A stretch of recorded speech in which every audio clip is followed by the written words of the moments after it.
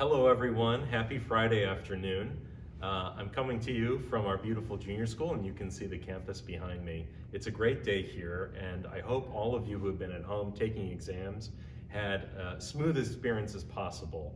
This week has been filled with ups and downs and some disappointments I know about not being on campus.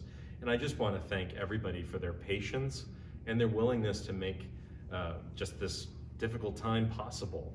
I also wanted to share with you um, just some changes uh, that I would like to see in our community based on recent events and especially Dr. Page's announcement this morning um, for St. Louis County. As you've probably heard, uh, there is a new order out, the Safer at Home order, and in some ways, it's not really going to change your experience with Priory. You're still going to be able to come to school, you're still going to be able to play sports. Um, those things will remain the same. But one thing that has been reiterated time and again by the county and by us here at Priory is all of us really need to take seriously right now the safety mitigation procedures that are in place. We need to wear our masks all the time when we're not at home. We need to keep six feet apart from people we don't live with or who aren't in our 10 person bubbles, I think we're calling them now. And we absolutely need to keep in mind that the choices we make off campus are going to have an impact on the ability of this school to remain open.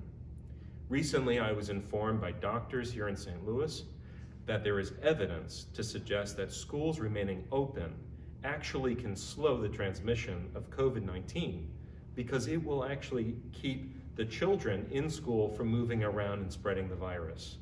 However, in order for us to remain open, our faculty and staff need to be safe. And I need to be able to guarantee them that we as a community are taking all the steps possible not to bring the virus on campus. And that means not attending parties or any kind of event with more than 10 people in attendance. And if you're at a gathering, to make sure that you are always wearing a mask and always remaining socially distanced. If we can do this together, we can help keep our school open and all of us safe and learning. So please, please work with me, work with your teachers and coaches to keep Priory a safe place, to keep our campus open, and so we can all celebrate the holidays together before Christmas arrives. So uh, God bless you all. Have a wonderful weekend, and please stay safe.